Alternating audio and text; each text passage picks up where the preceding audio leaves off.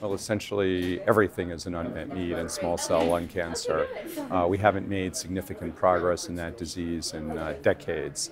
Uh, our treatment, particularly for advanced disease, remains drugs that were approved uh, literally decades ago, and uh, the overwhelming majority of patients will die of their disease within 24 months of diagnosis.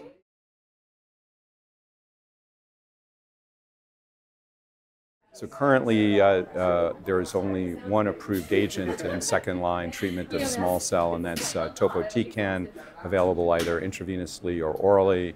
It's a drug with uh, limited activity and very significant toxicity, and um, you know we are in uh, desperate need of uh, something better than that nivolumab uh, and or um, nivolumab plus ipilimumab has an indication um, within the NCCN guidelines in this setting, but is not FDA approved, not always reimbursed, and uh, we have no randomized data demonstrating its superiority uh, over uh, topotecan. So uh, it's available, but not necessarily a, a great, cho- a, a clear-cut choice.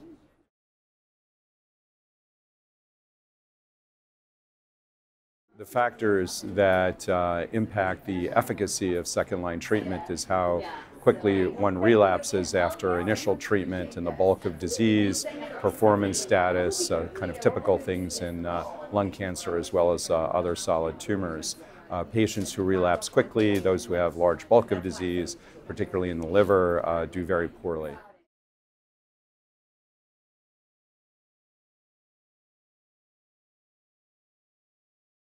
Irinotecan, which is actually another option uh, in the second line treatment, very similar agent to topotecan, somewhat easier to administer, uh, has been combined with dinutuximab, uh, uh a ganglioside targeting agent uh, that's approved in pediatric neuroblastoma.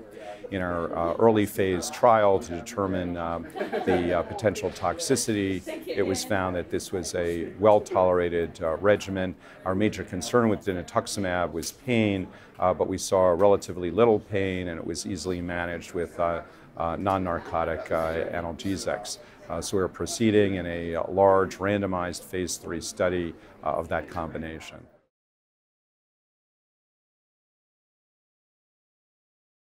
As I previously mentioned as an option, uh, we have uh, currently there some data with nivolumab, with or without ipilimumab, in the second line treatment of uh, advanced uh, small cell lung cancer.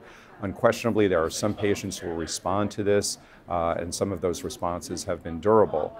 However, this has not been compared in a randomized controlled trial. It is not FDA approved. Uh, I believe that there's clearly a subset who benefit. Uh, I personally have seen this, but we still will need additional treatments, uh, either by themselves or in combination with immunotherapy, if we're going to seriously advance the field.